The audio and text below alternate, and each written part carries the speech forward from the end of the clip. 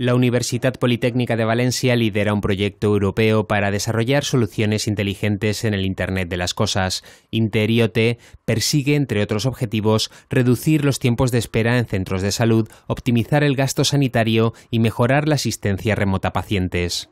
El papel de la universidad es el papel principal, porque nosotros somos eh, los coordinadores de la propuesta y aparte somos eh, los líderes de dos paquetes de trabajo.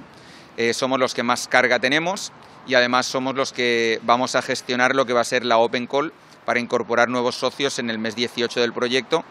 Además, y fuera del sector sanitario, el proyecto plantea reducir las emisiones de CO2, aumentar la eficiencia en el tiempo de transporte y en el control de acceso en el ámbito logístico y portuario. El objetivo de Interiote es crear una capa común, de manera que todas esas plataformas, de una manera voluntaria, es decir, de una manera voluntaria y sencilla, eh, puedan hablar entre ellas. Así podrán intercambiar datos y la manera de intercambiar datos es que se podrán gestionar de una manera correcta y eficientemente los procesos.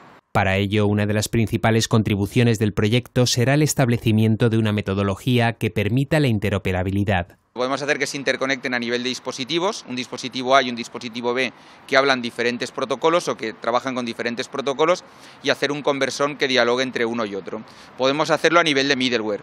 Y a nivel de middleware tenemos diferentes entornos, pues por ejemplo tenemos Fireware que tiene desarrollado el programa, FIPPP de la, Unión Europea. O tenemos Universal dentro del entorno sanitario. O tenemos otros entornos propietarios como Sofía 2 que, que está desarrollado en España y otros más y a nivel semántico, pues haciendo que todos tengan el mismo significado a la hora de intercambiar los datos.